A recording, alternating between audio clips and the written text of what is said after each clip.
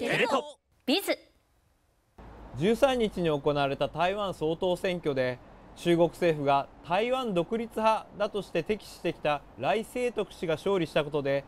祖国統一は歴史の必然だとする習近平指導部は戦略の練り直しを迫られています。中国政府で台湾問題を担当する国務院台湾弁公室の報道官は今回の台湾地区の選挙結果は民進党が党内の主流の民意を代表できないことを示しているなどとする声明を発表しました。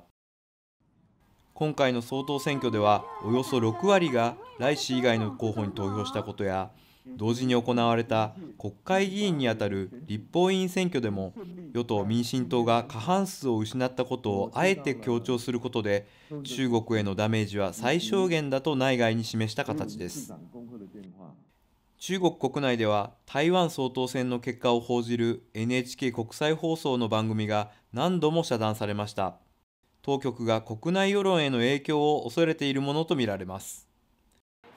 その一方で投開票から一夜明けた今日北京市民からはさまざまな声が聞かれました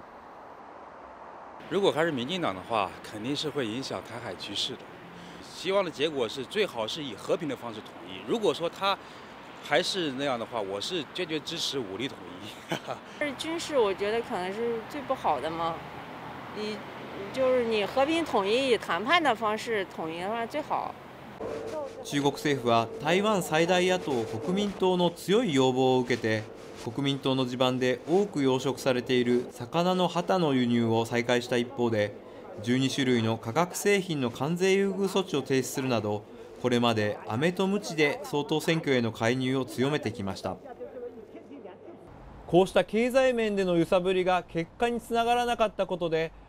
台湾周辺での大規模な軍事演習に踏み切るのではないかという見方も出ていて中国が台湾に対してさらに圧力を強めることが予想されます。